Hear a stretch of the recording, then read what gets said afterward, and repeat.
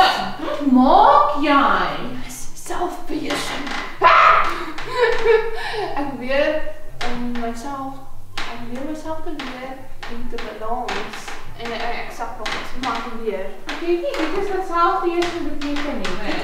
Is! Ja. Ek het van Jy geleer gaan is. sal en dan dan het ons hospitaal te gaan met jou. Ek dink ek dink dit is aangenaam gaan praat oor so 'n bietjie oor selfbeheersing. Okay. Ek dink dan kom ons gaan gesels oor 'n bietjie oor selfbeheersing. Kan jy altyd die eerste keer gaan gesels. Kon kon nou wat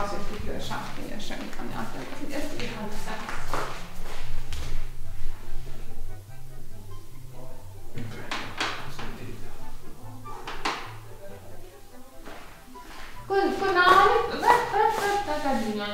Ek probeer so Superman wees. Ek ek wil selfbeheersing hê. Ek dink nie dis wat selfbeheersing beteken nie, hè. Wat bedoel jy? Ek beheer myself. Nee, jy gaan val. Wonderlik. Nee nee, kom kom ons gaan gesels bietjie oor hierdie hierdie selfbeheersing storie teen ek heeltemal verkeerd. Kom ons gaan self bietjie oor nee, Kom ons gaan gesels oor. Oké, okay, oké, okay, ek dink ons moet 'n bietjie gesels oor selfbeheersing. Ek dink julle het die verkeerde, julle verstaan die storie verkeerd. So, kom ons eers hallo almal. Hallo. Hallo. Ek ons gaan nie sing nie, maar dis oké. Okay. Goed, so ons gaan vandag praat oor selfbeheersing. Selfbeheersing. Ek bly Nee, nee, nee, nee, nee, nee, so dis nie selfbeheersing nie. Voor ek gesels oor selfbeheersing, kom ons recap. Kom ons gaan gou-gou weer terug. So, ons is lief vir die Here en ons ons harte vir die Here gegee. Yes. Ja. So ons wil graag reg lewe, want dis wat die Here van ons verwag en die vrug van die Gees help ons om reg te lewe. Stem dit saam? Ja. Dus kom ons kyk na die vrug van die Gees, want dit help ons. Yes. So, voor ek gaan praat oor selfbeheersing, wil ek vir julle gou wys wat 'n vrug is selfbeheersing. Ja. Wow. Ja. Drywe. Dis drywe. Ja, want jy het selfbeheersing nodig om nie al die drywe te eet nie. Ja. Nou. Wat? Nee, dis oké. Okay. So in elk geval, maar ek wil eintlik net met die vers nou. So hier is die vers. Die vers is net verskriklik interessant. So voor ek praat, wil ek vir eers die vers lees. So die vers is in Spreuke 25 vers 28 en dit sê die volgende is baie aardig. Dit sê so ek vir julle lees Spreuke 25 vers 28, dan is baie belangrik. So 'n stad sonder 'n muur om hom te beskerm, so weerloos is 'n mens as hy nie selfbeheersing het nie. Soos 'n stad sonder 'n muur is. So Dit is belangrik om te onthou. Ekskuus, ek sny hierdie uit. So, Michelle, kom ons luister. Ons het nou hier gelees in Spreuke van 'n stad sonder 'n muur. Staan sonder 'n muur. Okay, so kom ons begin. Dis is China sonder sy uh, wall, Great Wall Dankie, of China. Dankie, Michelle. So, okay, in die ou tyd, wat gebeur as 'n stad nie 'n muur het nie? 'n Stad het nie 'n muur nie. In die ou tyd hierdie stad, Ja, het- die ja. stede het mure gehad vir 'n rede. Wat gebeur as hy stad nie 'n muur gehad het nie? Wat stad gebeur gaan- met hom? Uh, Almal gaan die stad aanval. Ja. Kyk, so almal daar was baie oorlog en goeie. So, Ja.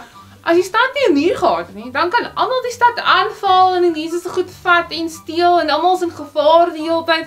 Dis chaos, dis lekker Ja, dit gaan so. Ek sien 'n stad sonder 'n muur. Kom ons gaan kry hulle. Ah! Ah, kom terug. Ja, okay, julle het die idee reg. Julle het die idee reg. Dis ja, okay. So, selfbeheersing is soos 'n stad sonder 'n muur. So, dis dis die gevolge. As jy nou baie bly oor jouself. Goed. So, selfbeheersing as jy dit nie het nie, is jy 'n stad sonder 'n muur. Ja. So, stel selfbeheersing is om nie goeders net te doen en te sê nie. Jy dink. Jy dink eers. Dis belangrik. Dis so belangrik. Want weet jy, as ek vinnig kwaad raak of vies raak vir iemand, Ja. dan kan ek baie maklik dinge sê wat ek nie eintlik bedoel nie of wat ek later oor baie gaan spyt wees en jy kan nie sulke goed terugvat nie. So as jy selfbeheersing het en jy besef hoorie, al is ek 'n bietjie kwaad vandag of ek voel nie lekker nie, Ja. ek gaan ek gaan nog steeds probeer om nie te vinnig kwaad of ongelukkig te raak nie. Dan dit help jou om dan te dink voor jy iets doen. Yes. Dis onthou as dit laas gepraat om in pikke wyne te tel, né? Een pikke wyn, Ja. twee pikke wyn, Baie 17 pikke pikke wyn. Okay, baie dankie. Goed. So nee nee nee. So ons het laas sê ons is om om in pikke wyne te tel, te tel. Beteken jy jy wag vir iets doen of sê. Ja. Dis dieselfde met selfbeheersing. Ek wag voor ek 'n ding doen of sê. Dit is so belangrik. En weet jy, dis so maklik om net kwaad te raak. Dis die Ja. maklikste ding. Maar ons moet die regte ding doen. Dis Regte wat gaan. So ons moet onthou as ons nie selfbeheersing het nie, dan is ons 'n stad sonder 'n Muur.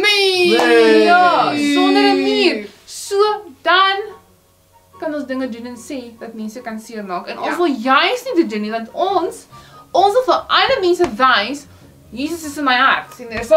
Yeah. Ja. Ons wil vir ander mense kan wys dat as ons dit kan doen, dan kan ons mense nader trek aan die Here. Ja, hoor Here, dis so belangrik. As ek nie selfbeheersing het nie, dan stoot ek mense weg van die Here. Ja. En ons wil nie dit doen nie. Nou, Ja. ons wil nie dit doen nie. Glad nie. Nee, so ons moet wees soos 'n stad met 'n sterk muur en daai sterk muur se naam is selfbeheersing. Ene. Ja, konai, fokus. Daai muur se naam is selfbeheersing. So onthou nou vir jy kwaad word of as jy nie ongelukkig as jy of as jy ongelukkig is of jy wil iets vinnig doen of sê, dink aan 'n stad met 'n muur. Jy's 'n stad met 'n muur. Jy het selfbeheersing. Yes. Moenie jou balans gaan oefen op jou ma se stoele nie. Is gevaarlik. Nee nee nee nee. So onthou selfbeheersing, dis verskriklik belangrik. Onthou om te tel te kywyne voor jy dinge doen of sê. Okay, stop daai. Jy kan nie gesig vat nie. Okay, Jammer, my- Skat daai nou. Hierso begin ons weer. So onthou selfbeheersing. Moenie dinge doen en sê nie. Dink dink dink vir jy ding doen, want dan om dan het jy daai muur soos 'n jy muur om jou stad gebou en dis belangrik. So onthou dit. Gaan julle dit onthou? Ja. Ja, so kom ons onthou dit. Kom ons gaan bou 'n muur. Nee, kom ons sien julle. Ons sien julle eers later. Bye. Bye.